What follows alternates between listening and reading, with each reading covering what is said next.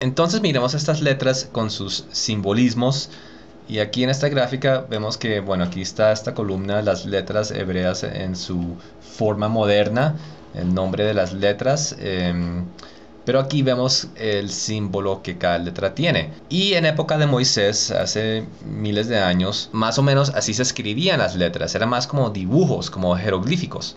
Entonces, si comenzamos con el Vav que lo vemos acá, vemos que el Vav tiene como una forma de un clavo.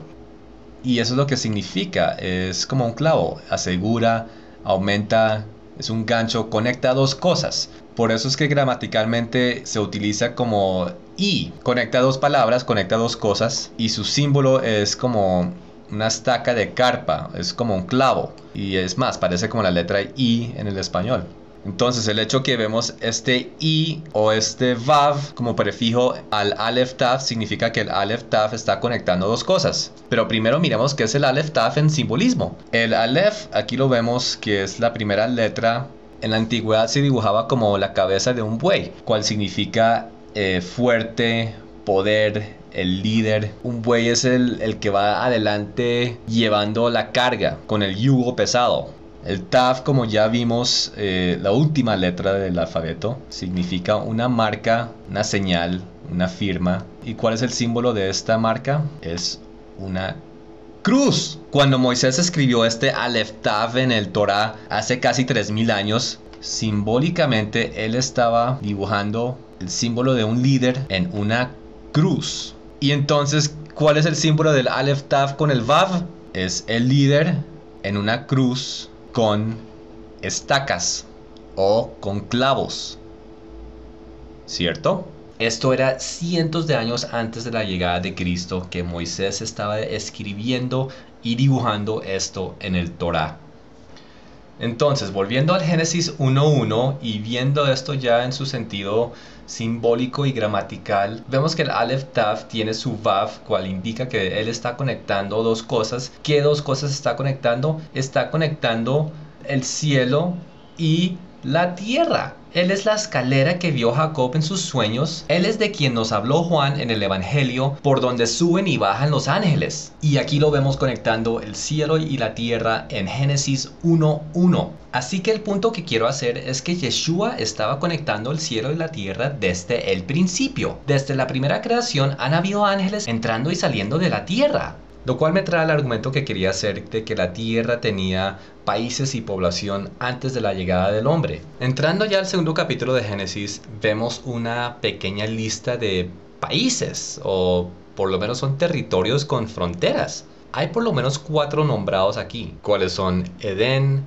Javila, Cus, que si no estoy mal es la tierra de Etiopía, y Asiria, que hoy en día es Irak. Entonces, si el hombre no existía todavía, o por lo menos la población humana no existía, ¿por qué hay territorios definidos? Vemos que hay mucha información geográfica para un mundo donde población humana no existe. Los ríos tienen nombres, los territorios tienen nombres, etc. Pero si tomamos en cuenta de que Dios creó la tierra para que fuese poblada, para que fuese habitada, entonces yo pienso que eso también aplicaba para Génesis 1.1, para la creación original. Y creo que hay evidencia en la Biblia para mostrar que habían poblaciones angelicales aquí en la tierra. Por ejemplo, Génesis 3 nos introduce a Satanás por primera vez en la Biblia, y esto es después de los seis días de renovación. Después de estos seis días vemos el Edén hermoso, paradisiaco, y vemos a Satanás. Pero aquí Satanás es una serpiente. Estamos viendo a Satanás en su estado post caída. Esto es resultado de su rebelión, esto es después de la rebelión. Sin embargo, esto no era su aspecto original. Cuando Dios creó a Satanás, lo creó como un ángel muy, muy hermoso. Y vemos esta hermosura de Satanás, curiosamente, en el huerto de Edén. Voy a tratar de explicar esto de la mejor forma posible, pero va a ser un poco raro. Aquí va, en Ezequiel 31, Dios le habla al profeta Ezequiel para que le dé un mensaje al faraón, rey de Egipto, ya que faraón se volvió muy altivo, muy orgulloso, muy poderoso. Este era un mensaje para él acerca de esta situación. Dios comienza comparando a Faraón con el asirio, ya que el asirio pues también venía de un reino muy poderoso y muy orgulloso. Y de pronto pasa a compararlo con un cedro, un árbol de muy alta calidad, y empieza a usar la descripción de este árbol, de su grandeza, de su hermosura, y de cómo era más grande que todos los demás árboles, el preferido de todos los animales para ir a, este árbol, para las aves del cielo, para sus nidos, para las bestias del campo, la sombra para las naciones, y que este árbol era tan hermoso que se volvió altivo, orgulloso, pero de pronto pasa algo extraño y es que ya no está hablando de los cedros en Líbano, sino ya está hablando directamente acerca del huerto de Dios, el huerto de Edén. Entonces, para repasar, es una palabra, un mensaje para Faraón, pero rápidamente pasa a la comparación con un asirio, cual rápidamente pasa a la comparación de un cedro en el Líbano y cual termina yendo al huerto de Dios, al huerto de Edén.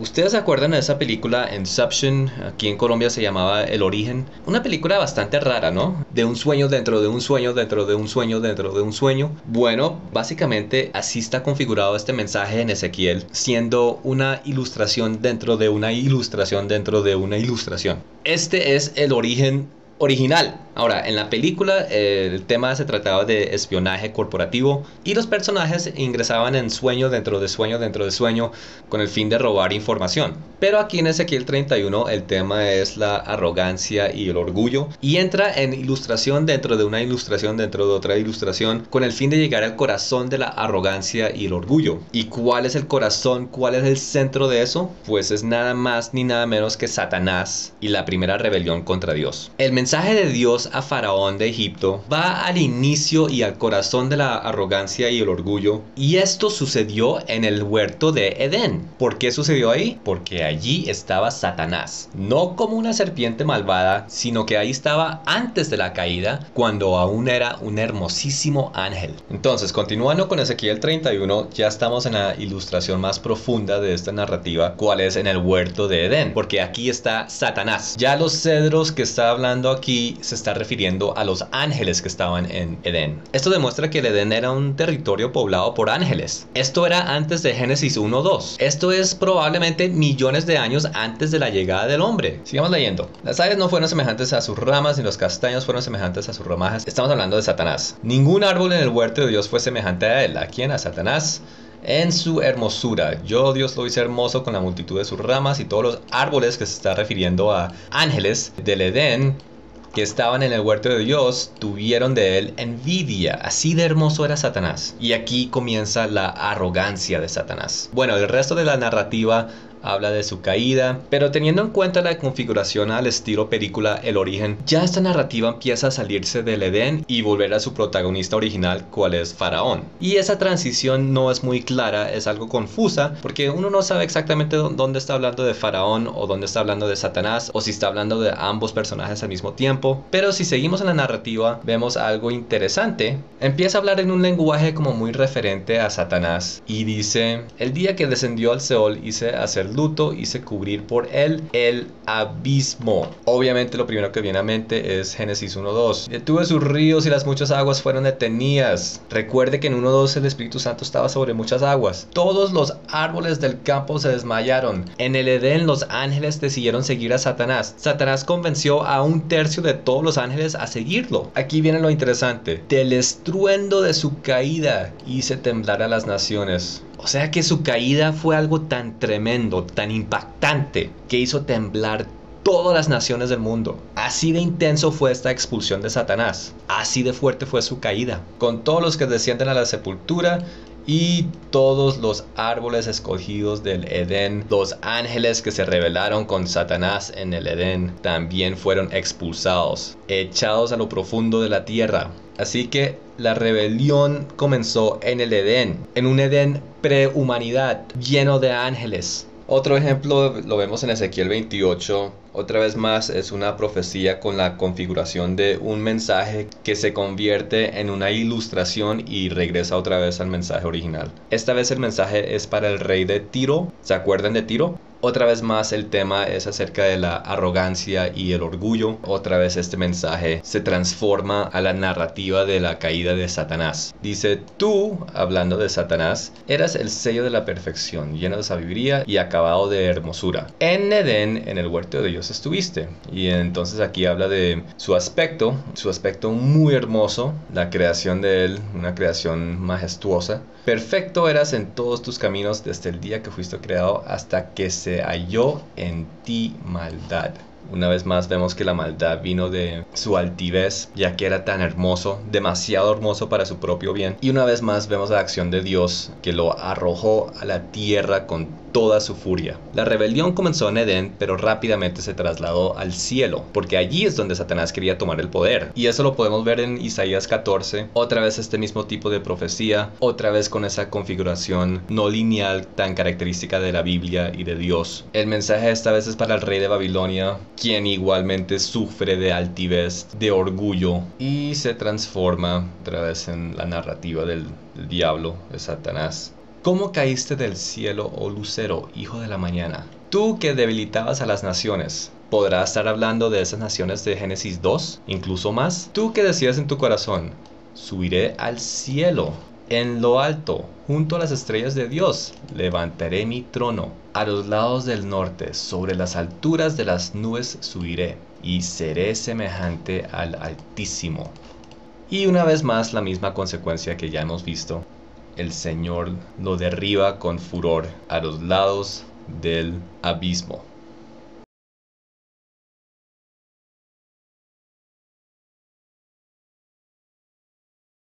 Así que los científicos casi acertaron en su hipótesis de que un evento catastrófico acabó con toda la vía terrestre, solo que se equivocaron con el elemento principal. No fue un meteoro gigante, fue Satanás, y millones de ángeles caídos, arrojados violentamente a la tierra, acabando con todo en existencia, y la tierra se convirtió en caos. Pero Dios no iba a dejar las cosas así. Él regresó. Regresó por su creación. ¿Por qué? Porque Él creó la tierra con una razón y con un propósito. ¿Y cuál es ese propósito? Bueno, tal vez podamos ver eso si otra vez conectamos el libro de Apocalipsis con el libro de Génesis. Repito que estos dos libros se encuentran en el mismo punto. Y si analizamos el fin de las cosas, esto nos lleva al principio. Entonces, ¿cuál es el fin de todo? ¿Cuál es el fin, el final de todo el libro de la Biblia? Bueno, el final es de regresarnos al comienzo, al principio, donde el hombre estaba en una comunión perfecta con su Dios, con su Creador, viviendo en un hermoso perfecto, paradisiaco mundo lleno de amor, lleno de luz, lleno de vida. Dios creó el planeta Tierra para su Hijo Jesucristo, para vivir con la humanidad. Así de grande es el amor de Dios por la humanidad. Él quiere vivir con nosotros. Y no iba a dejar un pocotón de ángeles rebeldes, ni va a dejar un pocotón de humanos rebeldes dañar sus planes ni su propósito original. Así que una vez más Dios comenzó con su creación. En este caso una recreación. Y dijo, sea la luz. La cual nos lleva a una pregunta interesante. ¿Cuál es esta luz? Pregunto porque esto va dando inicio a lo que son los seis días de creación. Así que esto es el primer día. Pero el problema es que el sol viene en el día 4. Entonces, ¿cuál es esta luz? Para responder esto tenemos que volver a la Biblia interlineal porque solo veremos la respuesta en el lenguaje hebreo. Ahora, si buscamos la palabra hebrea luz, es la palabra or, si así se pronuncia. Se escribe Aleph, Vav y Resh. Aquí está otra vez Aleph, Vav y Resh. Ahora con el artículo la, hablando de la luz, es con la letra Hey, cual indica el artículo ha, ha or, Hey, Aleph, Vav, Resh, la luz. Pero cuando Dios vio la luz, que era buena, ¿qué luz fue la que vio? Pues hay algo particular en la forma en que se escribe en las escrituras originales hebreas. Cuando Dios vio esta luz de aquí, está escrito de forma diferente. Hey, Aleph, Vav, Resh, pero está conectado a un sufijo que no es una palabra, es el Aleph, Tav, es Jesús. Pueden ver que no tiene traducción porque no es una palabra, pero está conectada a la luz. Es una luz especial, es la luz Aleph Tav, Jesús. Entonces la luz que vino al mundo en Génesis 1.3 era nada menos que la luz del mundo, el Mesías Yeshua Hamashiach. Ahora, ¿qué significa tener a Jesús como la luz del mundo? Significa que no necesitas el sol. Se los mostraré. Una vez más vayamos al libro de Apocalipsis para poder apreciar el principio desde el fin. En Génesis 1.1, en la creación original, Dios estaba viviendo acá con toda su creación terrestre, con los dinosaurios, los animales, la vegetación y los ángeles. Ahora, ¿qué pasa cuando Dios vive en el mundo? la ilumina. En el libro del Apocalipsis, cuando Él retorne, Él va a estar viviendo en Jerusalén. Y como podrán leer, Jerusalén ya no va a tener más noche, no va a necesitar más el sol, ya que su presencia va a iluminar toda la ciudad. Su hermosura y su gloria no solo son luz espiritualmente hablando, sino que también es luz físicamente hablando. Por esta razón es que cuando Moisés hablaba con Jesús cara a cara en el monte Sinaí o en el tabernáculo, su cara terminaba iluminada por horas, tal vez por días, no sé. Lo particular de Moisés es que él era el único profeta que hablaba con Dios cara a cara, y al hacerlo la piel de su cara quedaba iluminada, literalmente. Parecía un poste de luz después de cada conversación con Jesús. Así que básicamente toda la vida que existía en Génesis 1.1 antes de la caída de Satanás, antes de los seis días de creación, probablemente millones y millones de años de vida animal y vegetal, todo era sostenido por la gloria de Dios. El sol no existía. Ahora, ¿qué es el sol? Pues el sol es una fuente de luz extraterrestre que llega a la Tierra de forma direccional. Y en esa situación, los polos de la Tierra reciben menos luz que lo demás y por eso se congelan. Al contraste de esto, la gloria de Dios no era una fuente de luz extraterrestre terrestre llegando a la Tierra de forma direccional, sino que era una fuente de luz omnipresente desde la Tierra misma. Eso significa que su luz física y su calor físico envolvían la Tierra completamente de manera uniforme, o sea que no existían regiones congeladas. Y esto resuelve los problemas y los misterios que han tenido a los científicos confundidos durante años y que los mantiene en tinieblas. Fire in the hole! Massive dinosaur bones found in the frozen Arctic. These animals have done quite well in an environment just like the Arctic today. How could they survive? It challenges everything that we think we know about dinosaurs.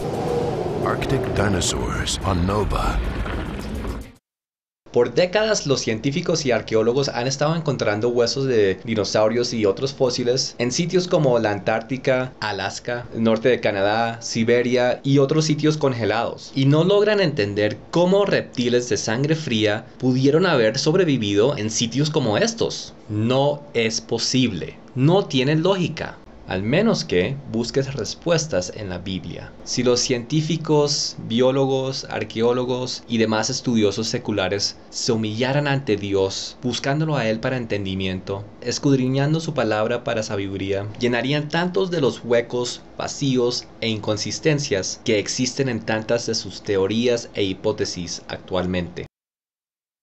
Para todos los creyentes que se estén alistando para entrar en debate conmigo acerca de la edad de la Tierra, no lo hagan.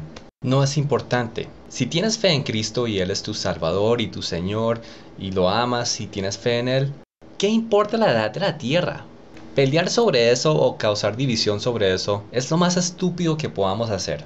Lo importante es nuestra vida de santificación y obediencia a Dios. Como dije anteriormente, yo hice este video como para los que están buscando respuestas y miran en el ateísmo, ya que podrán pensar que la religión ofrece respuestas vanas y supersticiosas. Así que si tengo toda la razón en este video, o no tengo nada de la razón, o tengo la razón en algunas partes y en algunas otras no, el punto que quiero hacer es que hay muchísima más sustancia y muchísima más profundidad en temas bíblicos que tal vez la religión no ofrece bien o que usted cree que no existe en la Biblia. Así que no miren a los ateos para respuestas en la Biblia porque ellos no creen en la Biblia. Miren a Dios. Todo este video fue acerca de tres versículos. Génesis 1, 1, 2 y 3. 40 minutos hablando solo por tres versículos. Imagina todo el capítulo 1 de Génesis. Imagina todo el libro de Génesis. Imagina toda la Biblia. Es imposible en esta vida terminar de leer, estudiar y entender toda la Biblia. Pero nunca es muy tarde para empezar. Así que dale una oportunidad a Dios. Bueno, pues espero que hayan encontrado este video interesante o que les haya ayudado de alguna forma. Suscríbanse a mi canal, tendré más videos de estos y nos vemos pronto. Que Dios los bendiga. Adiós.